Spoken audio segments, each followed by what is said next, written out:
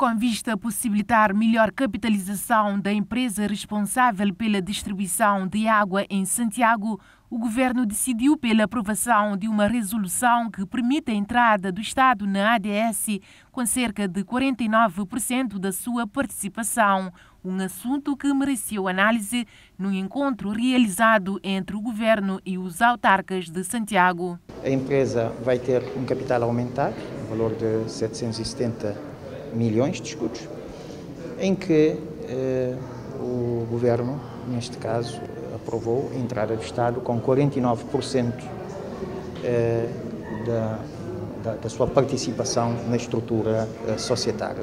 Vamos eh, possibilitar melhor capitalização da empresa, portanto, é uma empresa que nasceu com problemas eh, de capacidade de investimento, porque não foi suficientemente capitalizado. Agora, vamos poder, portanto, resolver esta questão.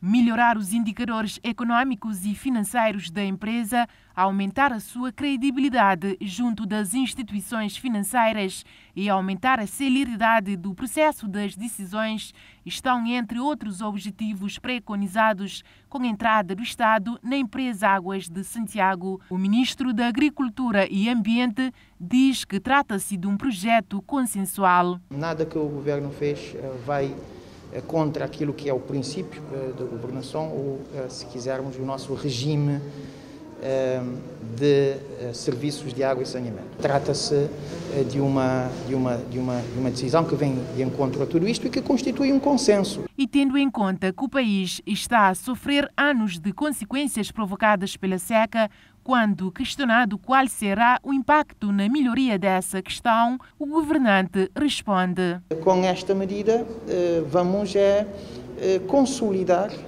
todas as demais que têm a ver com a melhoria da governança de água em Cabo Verde. Temos estado a trabalhar na empresarialização dos serviços de água e saneamento. Estamos também a melhorar todo o sistema de regulação técnica e económica da água e saneamento em Cabo Verde.